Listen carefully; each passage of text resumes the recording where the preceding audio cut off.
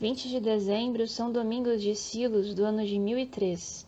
São Domingos, membro da Ordem de São Bento, célebre pelos grandes milagres que fazia, nasceu em Cária, aldeia do distrito de Rócia, na Espanha. Filho de gente pobre, mas piedosa, Domingos passou a mocidade pastoreando rebanhos.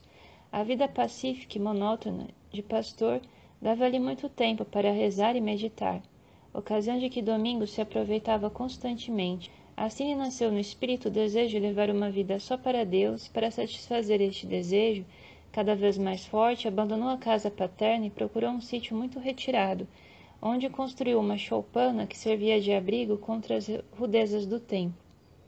Muito tempo morou na solidão. Quando resolveu entrar para um convento, onde a alma pudesse ter o benefício de uma direção espiritual sólida, assim se dirigiu ao convento de Santo Emiliano, onde foi recebido como noviço. Os progressos que fez na sese e na teologia foram tão acentuados que poucos anos depois foi admitido às ordens sacerdotais e mais tarde eleito superior da comunidade. Se aos irmãos de ordem dava o mais brilhante exemplo de verdadeiro religioso, a avareza de um rei de Navarra fez com que tivesse de abandonar o claustro. Motivou este ato de violência a cobiça indomável do monarca, o qual, não podendo alcançar por via de promessas e blandícias que Domingos lhe entregasse os tesouros do convento, recorreu à força brutal e expulsou-o com mais alguns monges. Domingos procurou abrigo em terras do rei de Aragão e de Castelo, que era Fernando I.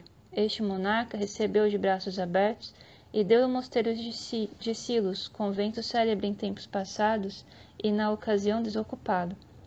Domingos com os companheiros tomou posse do prédio, reformou o convento e igreja, cujo estado de conservação reclamava grandes concertos.